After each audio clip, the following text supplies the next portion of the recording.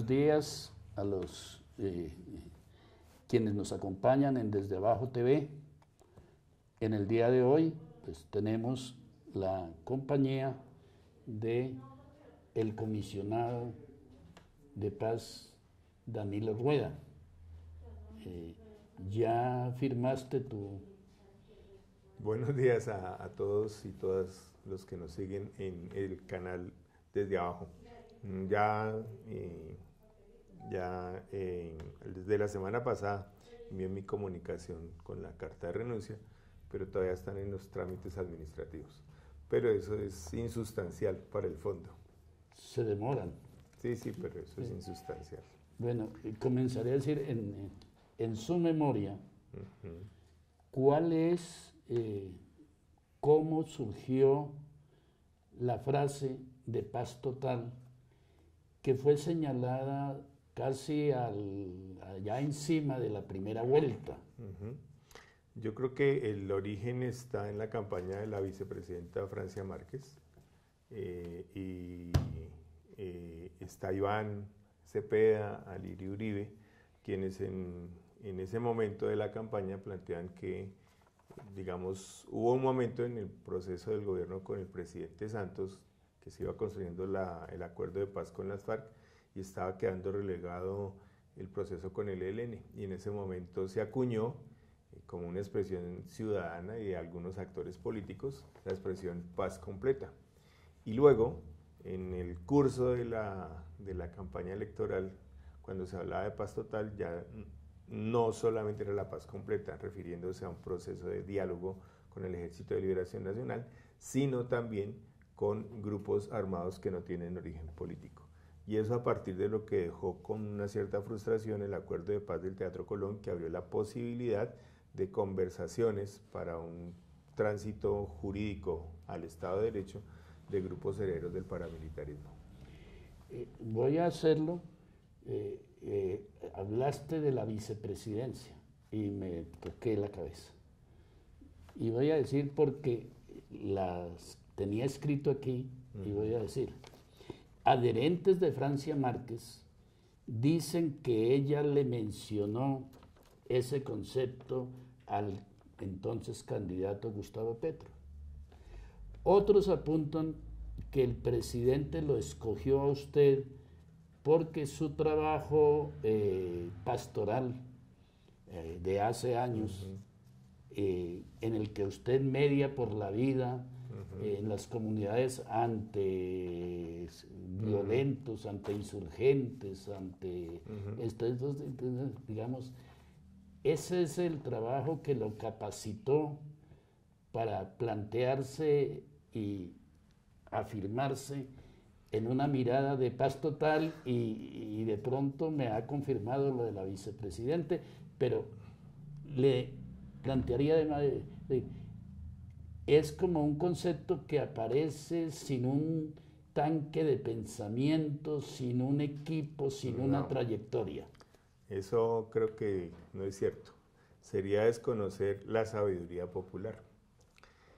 Eh, desde, desde antes del acuerdo de paz del Teatro Colón, en el 2002, se inicia todo un proceso organizativo de base que hoy eh, cuenta con cerca de 200 organizaciones comunitarias, indígenas, campesinas, afro. Y en desarrollo de ese proceso, en el 2002, eh, luego de una discusión, diálogos con las madres de la Plaza de Mayo, fundadora, víctimas del franquismo, eh, víctimas de Sudáfrica, víctimas del Ku Klux Klan, eh, de Argentina, de Chile, eh, se sacan dos conclusiones. Una, los aparatos judiciales no propician verdad, verdad plena. dos, las comisiones de la verdad formulan buenas recomendaciones, pero esas no se traducen en una transformación estructural o estratégica de los estados. Por tanto, lo que hay que desarrollar es un fortalecimiento de las iniciativas de construcción de verdad, de memoria histórica en perspectiva de transformación y, de, y en el caso colombiano de paz. Eso fue en el año 2002. Desde ese momento, en medio de la conflictividad armada, recordemos que viene el, el, el gobierno del presidente Álvaro Uribe Vélez, todas estas comunidades sortean la situación del el modelo de la política de seguridad democrática y desarrollan estrategias de autoprotección y afirmación humanitaria inicialmente y luego de construcción de paz en territorios donde hay unas operaciones estratégicas paramilitares eh, y hay unos intereses de la economía o de sectores de la economía. Esos procesos siguen trabajando, siguen trabajando. Viene el proceso de paz con las FARC, vienen todas estas discusiones de Tocancipá y ese grupo de organizaciones sigue con los mismos planteamientos. Que esos planteamientos van ante la, ante la evidencia de la impunidad de los aparatos judiciales, entonces necesitamos verdad histórica. ¿Cómo reconstruir una verdad histórica con aquellos que se niegan a reconocerla judicialmente? Y se desarrollan estrategias de acercamiento con aquellos que y sobre los cuales existen indicios serios de responsabilidad, es decir, lo que se conocería vulgarmente como victimarios. Y adicionalmente, eh, se dice, bueno, ¿qué, ¿para qué sirve esa verdad? Para ver lo que ha pasado, pero también en perspectiva cómo vamos a generar condiciones a partir de esa verdad para que haya transformaciones territoriales. Ese conjunto de procesos sigue en desarrollo de trabajo eh, en las cárceles, que yo acompaño, en los territorios, con eh, la mayor multiplicidad de, eh, o en medio de diversidad de multiplicidad de dinámicas de violencia armada, incluyendo las que ocurren en las ciudades. Y esa, ese ejercicio es lo que va dando sustento en coincidencia con la visión de Francia Márquez a lo que después son los contenidos de la paz total. Pero bueno, pero no hay, no hay, eh, está muy bien el relato que hace, pero digo, como un, un, organismo especializado en, en, sistematizar, no existe una tesis, un, un planteamiento sobre lo que es la paz total, lo has dicho, Sí, si hay, si hay documentos y si hay tesis. A ver, dime. Entonces, tesis. Tesis. Eh, hay, una, eh, hay, una, hay un Estado de Derecho con múltiples estados de hecho en el territorio colombiano. Esa multiplicidad de estados de hecho, unos están en la lógica del mercado global, otras expresan una resistencia a esa lógica de imposición de economía global. Y en desarrollo de esas dinámicas de violencia hay un desdibujamiento por las prácticas eh, armadas eh, de, de, los sentidos de esos ejercicios de violencia armada. Y eso lleva a la necesidad de parar la conflictividad para que se propicie un espacio de conciencia ciudadana eh, no, yo entiendo que hay propuestas, pero yo te pido ver, es decir, una, eh, una sistematización de uno dice, vamos a ver esto y esto es lo que se está haciendo.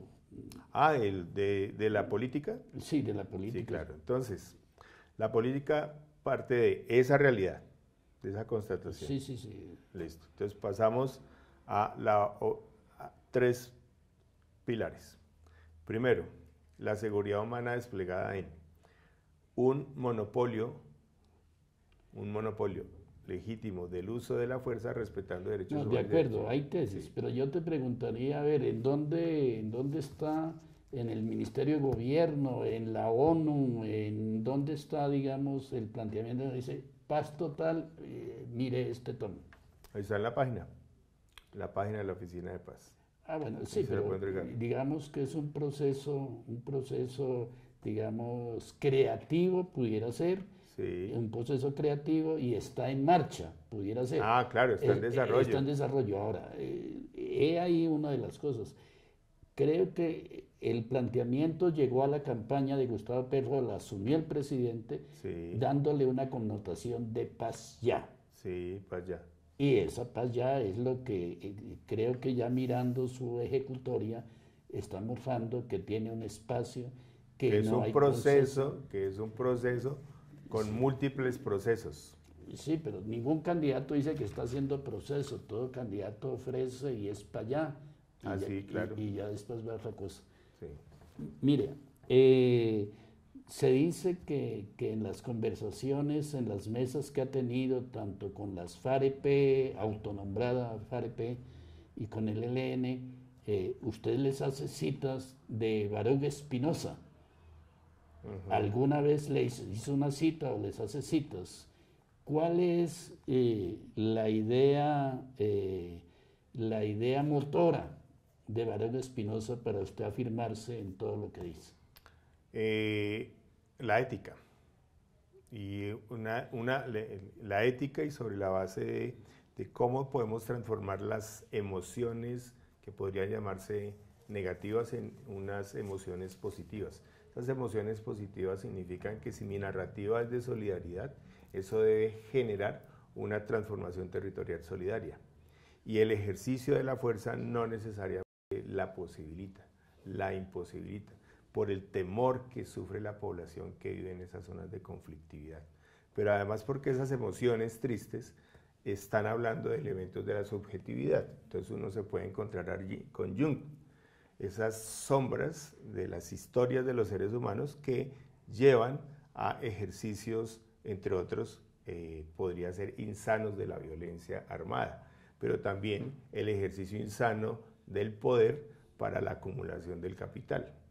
¿Qué cara le hacía Pablo Beltrán cuando le comentabas esta idea fuerza? abiertos, abiertos, porque creo que eh, si uno recuerda las palabras de Belisario Betancourt de los elementos objetivos y subjetivos de la violencia, la subjetividad se refería a esos elementos ideológicos. Y aquí estamos ampliando el campo de la subjetividad a unos elementos más complejos del, ser humano. A ver, eh, diría que mm, escuché a alguien, le preguntaría, ¿por qué o usted, cuando lo de la paz ya, eh, casi que podía darse el cierto deslumbramiento del triunfo de Gustavo Petro y de la derrota en primera vuelta de la política tradicional. El candidato quedó derrotado. Eh, pero ese triunfo o ese detalle electoral no inhibió el sostenimiento en el ELN de una política de resistencia. No inhibe la idea de las FARC-EP, de, al comando de Iván Lozada llamado Mordisco, no la inhibe de generar una crisis política, incluso de llegar a un reconocimiento. Entonces, eh, ¿cómo explicaría eso? Es que lo primero, lo primero que hay que señalar es que el triunfo eh, electoral eh, importante, histórico, tuvo un margen pequeño en términos electorales. Por tanto, eso quiere decir que lo que se posibilitaría en estos cuatro, en estos cuatro años de ejercicio de gobierno es una ampliación del espectro de conciencia ciudadana, popular, en términos de lo que hoy se está construyendo a partir de un ejercicio de gobierno, para darle continuidad, porque tres años son pasajeros, porque tres años no transforman ni 70 años de historias de violencias armadas, porque, porque tres años no transforman per se una situación de injusticia estructural y desigualdad pero sí puede empezar a sentar las bases de esas transformaciones. Bueno, ya en la condición, digamos, como de hacer una, evaluación, comenzaría diciéndole, en, el esquema de negociación que se dio con, que la sociedad colombiana admite que se dio para el acuerdo de la paz, había, digamos, un elemento, creo que lo, elemental o los elementos claves eran eh, la desmovilización, la entrega o dejación de armas y la representación política. En lo que se hizo quedaron 49 pendientes y 62 salvedades. En el carrerón que hubo para que se firmara la paz, la paz Santos, quedaron ese volumen de discusión. En su actividad, en su gestión, su resultado iba a dejar 50, 60 pendientes, salvedades en el aire. No, eh, hay que ser conscientes del tiempo, de lo pasajero. Si, pensamos que la paz es un proceso, eh, múltiple de procesos en el caso de la paz total, simultáneos, eh, lo, que se intenta llegar al final es a dejar todo eh, asentados los asuntos estratégicos con algunas firmas que puedan desarrollarse procesalmente. No significa que ya la paz se logra en estos tres años, como se piensa en el modelo de DDR. Aquí lo que se pensaba era, a través del diálogo, llegar a acuerdos sustanciales que bajo la perspectiva del acuerdo nacional den sostenibilidad a una, a una construcción a partir de, de esos acuerdos. Pero ahí, ahí viene, yo pregunto, ¿usted, o por qué usted, por qué nadie pensó que el acuerdo de la paz podía dar origen a un proceso de asomo de un recambio, de, un, de una nueva generación en las FARC que en esencia está planteando hoy inclusive una dinámica de agravamiento del conflicto armado. No, nosotros partimos de esas constataciones. ¿Qué nos encontramos? Nos encontramos, como dice el Comité Internacional de la Cruz Roja, con seis conflictos armados internos. Esos seis conflictos armados internos tienen unos actores clarísimos. El Ejército de Liberación Nacional, históricamente el grupo de origen rebelde, eh, como con más madurez en términos de diálogos, el proceso eh, con MC FARC, el proceso con FARC Segunda Marquetalia, que tendrían un origen y unas narrativas de carácter político y unas motivaciones políticas. Si vemos el primer proceso, el del ELN, eh, no fue acabado en el gobierno del presidente Santos, tuvo una interrupción en términos del diálogo en el gobierno de Duque Mientras tanto, ¿qué sucedía? Iba en crecimiento exponencial lo que hoy se conoce como las MSFAR. Cuando nosotros llegamos al gobierno hay cerca de 2.500, 2.800 hombres en armas, en la cual se encuentran algunos firmantes del acuerdo de paz, gente que era de las bases ciudadanas o civiles de las extintas FARC-EP y que se vinculan al movimiento armado eh, sector de lo que se conoció como el Partido Comunista Clandestino, que llegan ahí, y otras expresiones de movimientos populares. Eso creo que es lo que nos encontramos. Y nos encontramos con otro grupo que también ha crecido, que es el Asfar Segunda Marquetalia, que tiene cerca de 2.000, 2.500 hombres en armas. Entonces, sobre esa realidad es que se empieza a actuar reconociendo la identidad, la naturaleza y la motivación de cada uno. Entonces uno trae aquí a la memoria el momento en que estuvo el M19, el PRT, el EPL, el, el Quintín, Lame. Autodefensas Obreras, como en un escenario que se posibilitó eh, construir diálogos y acuerdos de paz.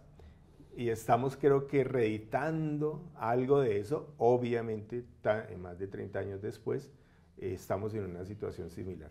Bueno, pero el punto este, a ver, te lo, eh, usted fue el que logró la fórmula de Estado Mayor Central. No, pues imagínense. Se, dice que usted... sí, claro que yo... Y que, y que en este momento, eh, en lo que se conoce, las FAREP de Iván Lozada dicen que tienen atragantado eso de que sean presentados como una fuerza, una fuerza que hace parte de la paz total cuando ellos son las FARC y están en el cumplimiento de eso y que no han negociado nada con Suecia. Entonces ellos no tienen por qué aceptar que son el Estado Mayor Central. Hay unos asuntos que tienen clarísimo, eh, clarísimos asuntos jurídicos. Dos FARC-EP inicialmente es imposible que se acepten en la comunidad internacional. Segundo, el nombre no se los puse yo. es más, yo cuando, cuando se autodenominaron de esa manera, yo ni siquiera estaba. Estaban unos delegados allá organizando y discutiendo todos los asuntos respecto a un cese de fuego temporal eh, que se estaba construyendo. tres, eh, independientemente de la nominación, hay que identificar las características del grupo armado y sus modos de operación, sus pretensiones y objetivos. Y eso es lo que se ha desarrollado durante este tiempo, esta identificación de esa expresión armada hoy existente en diversos territorios de Colombia. Entonces había otro, hay otro asunto también. Usted dialoga con el ELN, sí, yo dialogo con el ELN. ¿Quiénes están en la mesa? Los delegados del Ejército de Liberación Nacional en medio de sus tendencias y asuntos internos. ¿Con quién dialoga este gobierno? Con un grupo que se llama Estado Mayor Central de las FARC, con todas sus tendencias internas y unos delegados denominados por ellos. No, no es una invención del gobierno.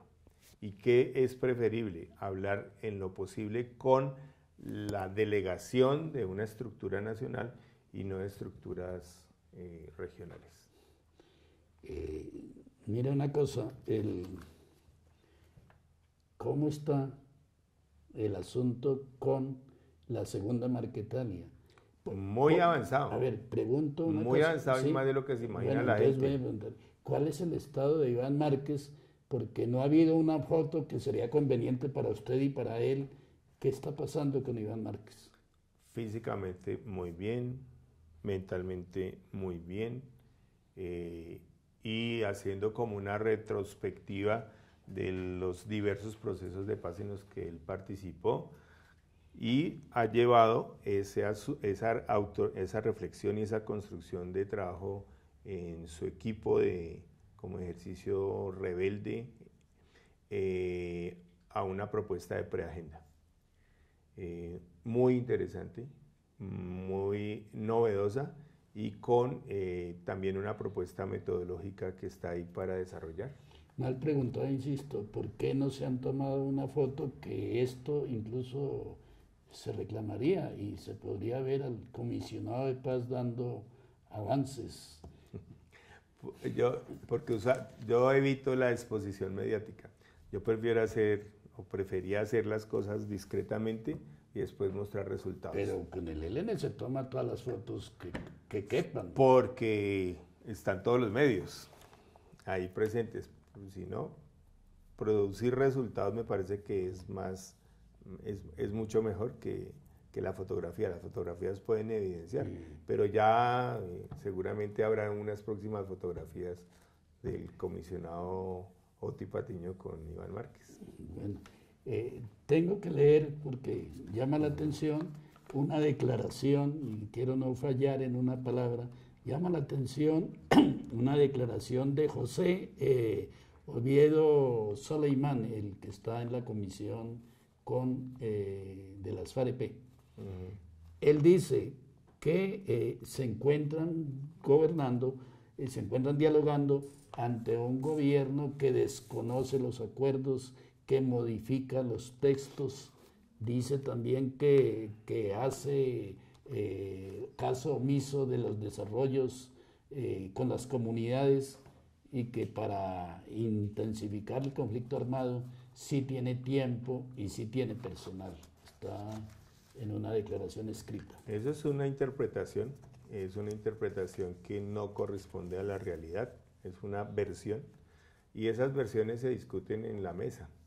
Eh, porque hay mucho, mucha emocionalidad, mucho temperamento que a veces evita comprender la dimensión de lo que estamos hablando. Evidentemente, ha habido asuntos mm, que no son de incumplimiento propiamente, sino de circunstancias que hacen que eh, algunos compromisos se dilaten, pero cuando se aclaran, todo el aspaviento y todo lo que eh, genera una reacción muy primaria, pues queda claro que no era para esa necesidad de reacción. Ahí tenemos un problema de fondo, que es el que hay que resolver y es, eh, además de que la palabra hay que cumplirla, es la madurez para resolver las crisis. Bueno, a, propósito de madurez para resolver crisis, quiero preguntarle, eh, todo indica que tanto la consigna del ELN de llevar la guerra a la ciudad tiene su dinámica. Sí. Eh, el el avance del, narcotráfico en el control urbano es, es, evidente. es constante. Entonces, los diálogos que ha tenido, que se ha habido, digamos, dan esperanza de contención a ese tipo de criminalidad, lo que se ha hecho en Buenaventura, en Medellín, en Santa Marta, porque de alguna manera la influencia es sobre Santa Marta de, los, de, la sierra. de la Sierra. ¿Es suficiente o qué otras cosas más hay? Eh, la palabra ha sido adecuada, es una contención esperanzadora. Y es una contención que se mide en disminución de la violencia letal, muertes, eh, torturas, desapariciones forzadas. Ahora hay que pasar de ese escenario a uno de los asuntos de fondo. ¿Qué hacemos con las economías ilícitas? ¿Qué hacemos con todos estos asuntos de eh, tráfico, microtráfico, términos de cocaína, minería ilegal, eh, turismo sexual, migrantes, en fin? Hay toda una dimensión de mecanismos a través de los cuales eh, estos, estos, estos grupos armados eh, mantienen el control social territorial y son aparatos que propician el lavado de activos de diversas economías ilícitas. Y a veces ni siquiera ellos son los, los mandos, los planificadores, los beneficiarios, son instrumentos. Y esos que están detrás, ese poder opaco y oculto, es el que hay que medir en una segunda fase en este escenario de acercamiento sociojurídico para lograr hasta dónde van a llegar. Eh, en este punto, usted no ha pensado y parece que, afirma, con narcotráfico no hay paz en Colombia. Sí, de acuerdo. Eso diría que la paz en Colombia y en el diseño de paz total, al parecer no existe que Colombia necesita una conferencia internacional para resolver ese tema. ¿Se ha pensado? El presidente alcanzó a decir de Palestina y de eh, Ucrania, pero no se metió a decir hagamos una en Colombia. Eh, ¿Lo han pensado? ¿Se está manejando? Eh, el presidente, el ministro de Relaciones Exteriores han trabajado en ese propósito nosotros hemos convocado a sectores de diversas iglesias y sociedad civil en Europa y el mundo para eh, coayudar en la conciencia eh, de la comunidad internacional, de los ciudadanos, de la importancia de asumir de fondo un problema de legalización o no de la droga. Y esa es la discusión que está ahí. Pero sí es muy importante señalar que en la política eh, de nuestro gobierno, hay unos asuntos estratégicos en relación con esa política. Uno, parar las erradicaciones forzosas. Dos, eh, propiciar una reorganización de la inteligencia y contrainteligencia para ir sobre los planificadores y beneficiarios de ese tipo de economías.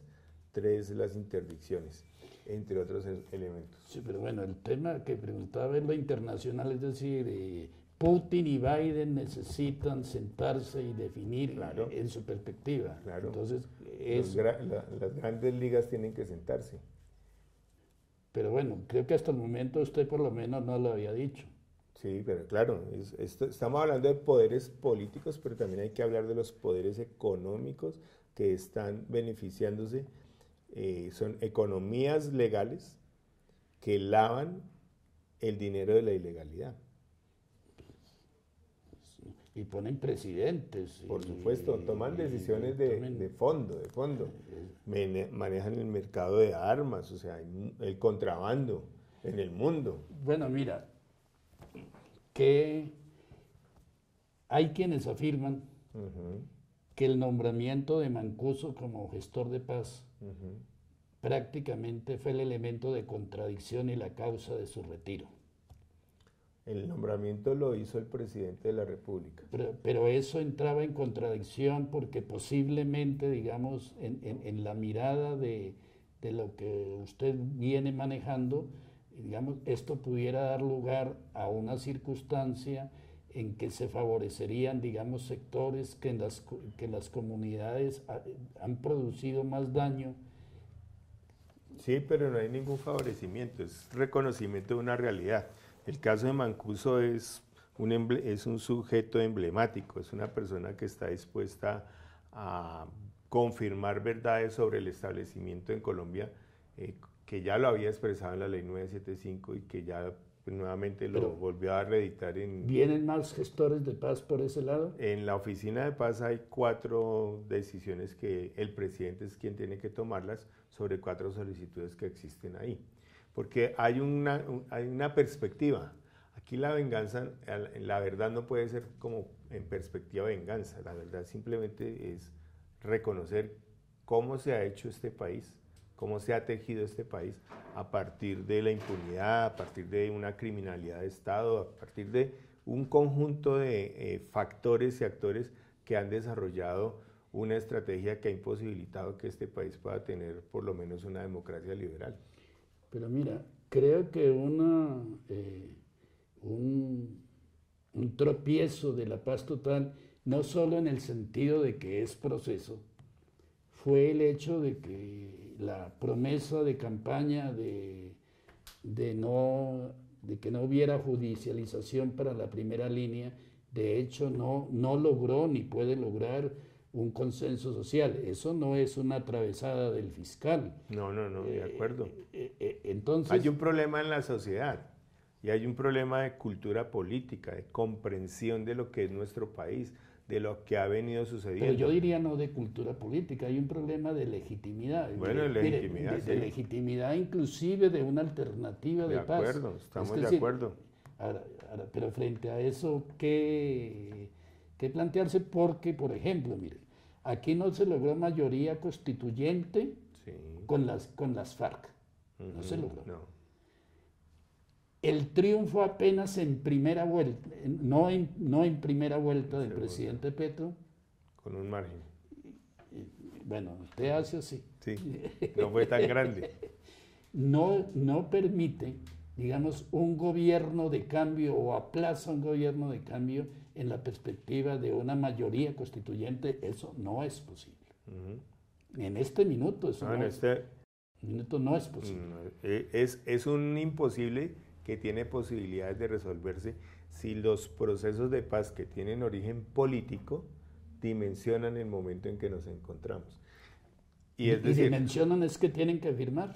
Dimensionar es que empiecen a hacer política, empiecen a hacer política. Pero están haciendo política en los territorios, en los territorios. Inclusive en este momento, mira, aparece un hecho novedoso. Creo que, no sé si en Vietnam aparece un sector cívico, un sector social que participa en hostigamiento a la tropa.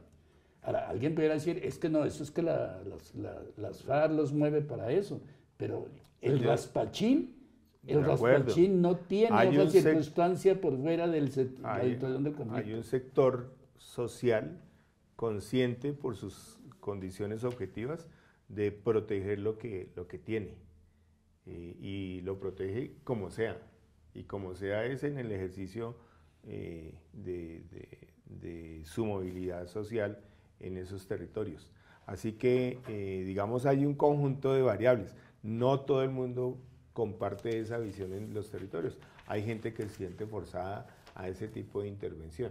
O sea, es un poco más complejo, pero lo que quería llegar aquí es, este, es, este sí es un momento histórico, donde es posible si el conjunto de expresiones populares, sociales, se juntan en lo fundamental, en lo sustancial, para construir esos escenarios de paz real en perspectiva de cambios.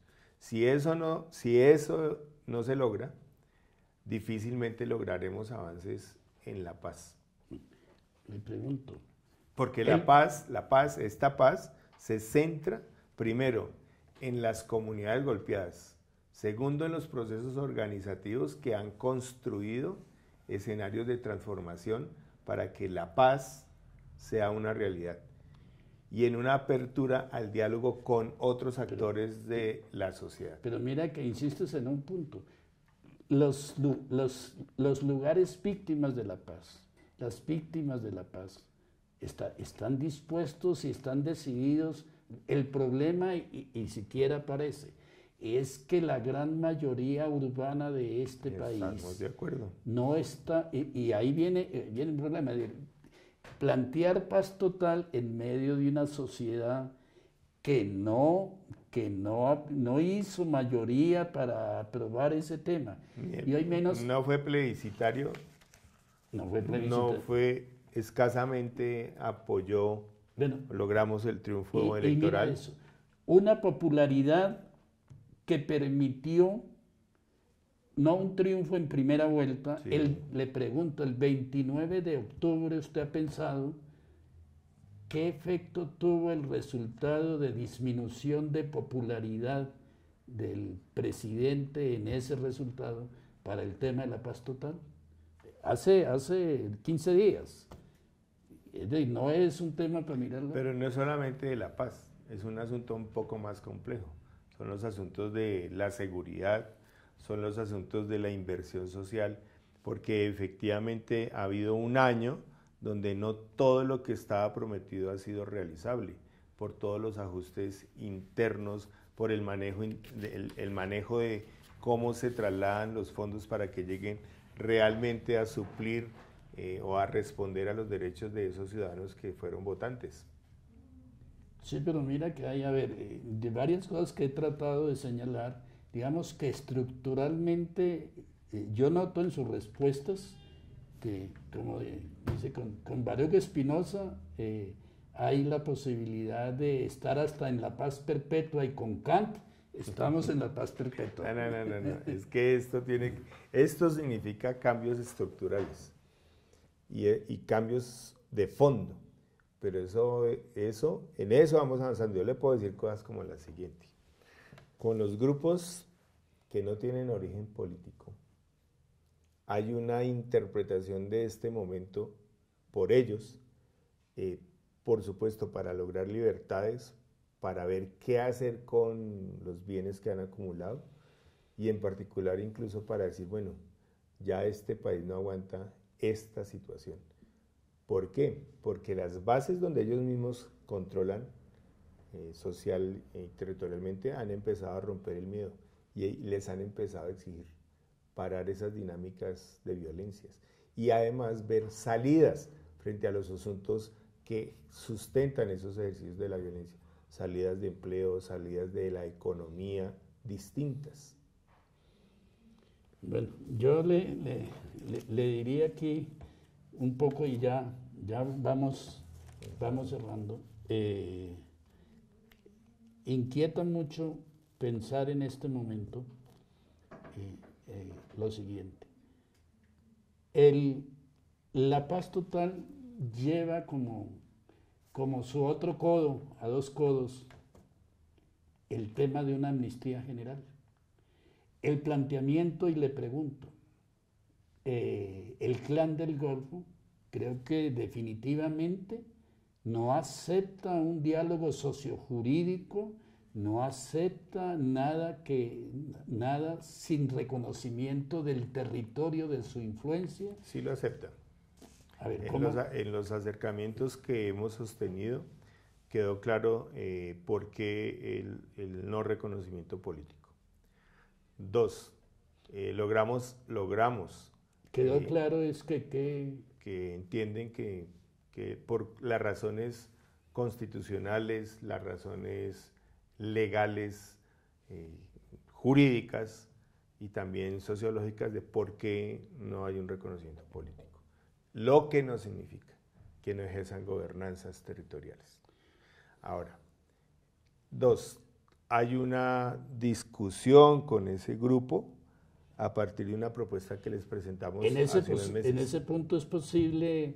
Pero en ningún momento, con ningún grupo se ha hablado de amnistías e indultos se ha hablado de reconocimientos de responsabilidad y transformaciones territoriales. Pero creo que en el tema, por ejemplo, esto de no tener una mayoría, una mayoría plebiscitaria, una mayoría constituyente, pudiera ser, y de alguna manera se, teje en, el debate, que, una, que haya una amnistía general.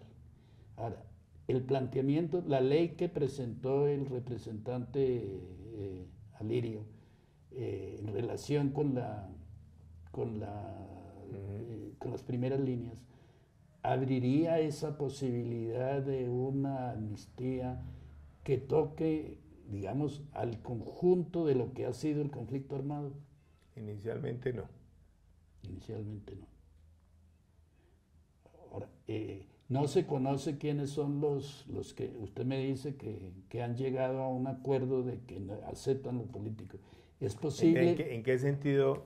Hemos tenido unas exploraciones, diálogos directos con varios de esos mandos y en ese diálogo, en ese acercamiento con testigos nacionales e internacionales, quedó claro el asunto de, los, de las motivaciones políticas para ser reconocidas por el gobierno. Quedó claro que es posible eh, desde el Congreso y pasando el examen de constitucionalidad un marco legal, jurídico que posibilite su dejación colectiva de las armas. Quedó claro que coinciden en que es necesario una transformación de los territorios, porque señalan que ellos en el ejercicio de su gobernanza ilegal, eh, pues son un ejercicio de Estado por seguridad, entregan algunos bienes, incluso algunos asuntos que fueron pactados en los planes de desarrollo con enfoque territorial, ellos son los que han entregado esas obras, por ejemplo. Así escandaloso es lo que pasa en este país que nadie quiere ver. Entonces, aceptan esos, e, esos términos iniciales. Ahora, ¿cuál es la dificultad?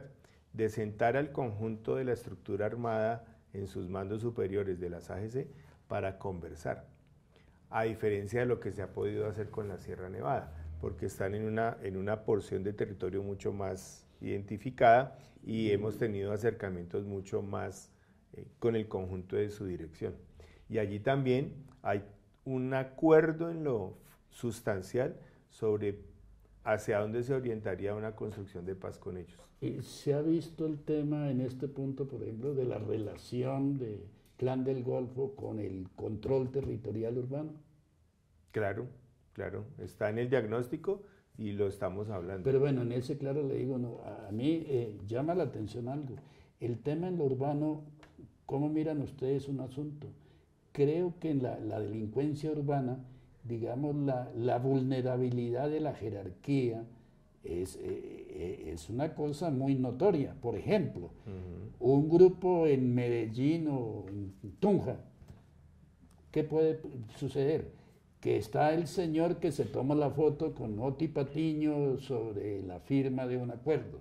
Está el segundo al mando que hace eso y posiblemente logra eh, estudiar en alguna parte.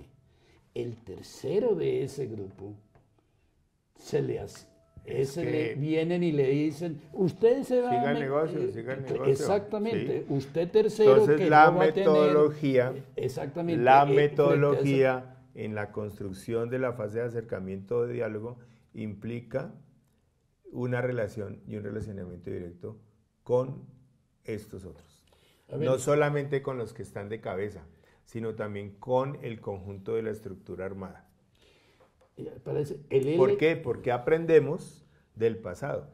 En el gobierno del expresidente Uribe se entregan 30 mil, 31 mil personas, de las cuales cerca de 4.500 han sido asesinadas, investigaciones judiciales que no se sabe quién los mató y por qué los mató, y una reconfiguración, una reingeniería de lo que fue la Sexauce, que tiene las expresiones AGC, la expresión ah, Autodefensas Conquistadores de la Sierra Nevada, los 16 grupos urbanos de Medellín y el Valle de la Burrá, las consecuencias de lo que hoy sucede en Quibdó y eh, chotas y espartanos, a lo cual se suma en términos de la estructura armada personas que firmaron el acuerdo de paz del Teatro Colón.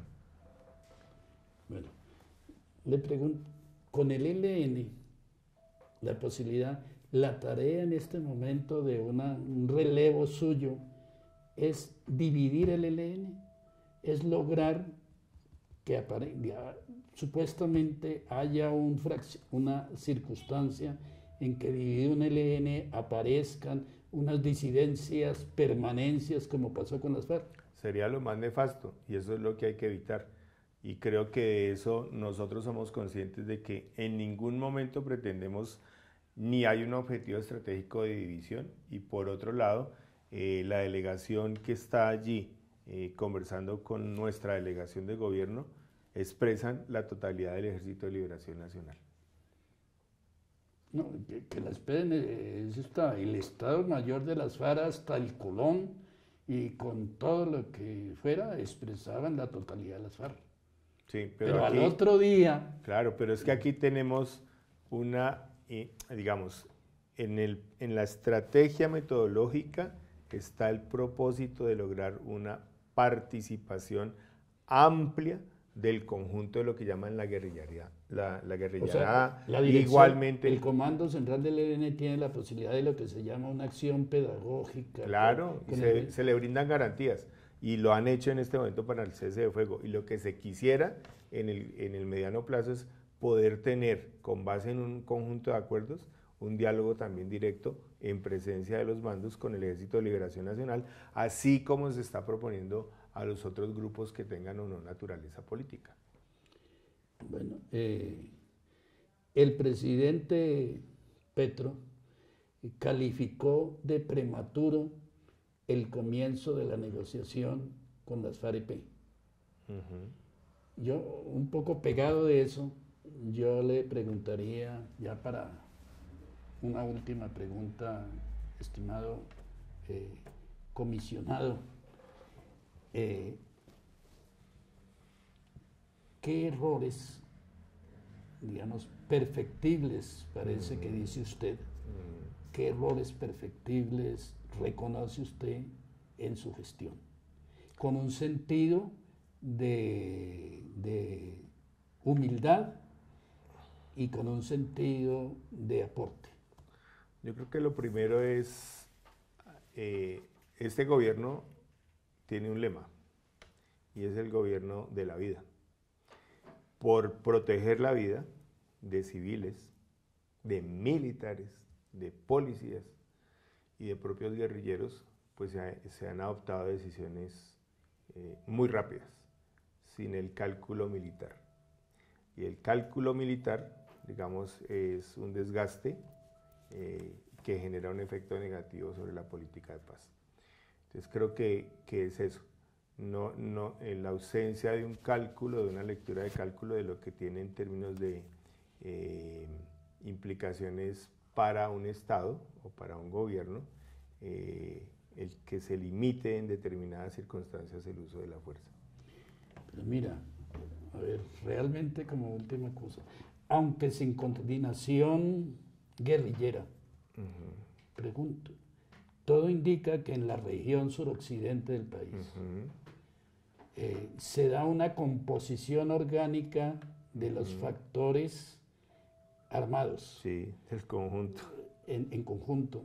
Y, eh, por ejemplo, la presencia de la, de la, de, la segunda Marquetalia, comandos de frontera, sin coordinación parece que logran un equilibrio y por el territorio, un territorio favorable a la prolongación del conflicto, un territorio favorable a la capacidad de maniobra de la guerrilla en el conocimiento del territorio. Todo indica que en esa región vamos para una nueva fase y un agravamiento del conflicto armado, que la negociación no va a lograr en un periodo, eh, digamos, una satisfacción ideológica del objetivo de esos aparatos armados. Inclusive allí, de alguna manera, el elemento de una acción paramilitar en la vieja usanza parece no tiene recursos. Es decir, entonces mi pregunta es, eh, vamos para un agravamiento del conflicto en el que en esa zona es difícil aplicar la capacidad de dominio de la fuerza de las Fuerzas Armadas. Por supuesto, porque hay algunos niveles de ineficacia, tolerancia, complicidad con dinámicas de violencias armadas y las economías que por allí circulan. Pero además, eh, con esto hay otra, otro mensaje importante. Si el propósito de la paz era tener escenarios de diálogo para eh, fortalecer en el diálogo una conciencia del momento histórico que vive el país, lograr unos acuerdos con la mayor diversidad de grupos armados que tienen motivaciones políticas, si no se logra avanzar sustancialmente, vamos a encontrar una nuevas, nuevas dinámicas fragmentadas de violencias armadas ilegales a lo largo y ancho del país. Por eso yo he insistido mucho en la perspectiva liberal, y eso puede ser muy conservador, de que es necesario que la fuerza pública legitime el uso de la violencia, pero legitimar el uso de la violencia significa respetar irrestrictamente los derechos humanos y el derecho internacional humanitario. Significa también un apartarse de la posibilidad de la corrupción y de la participación en economías ilícitas e ilegales. Pero además, simultáneamente, las promesas de eh, campaña del gobierno tienen que realizarse en el corto plazo.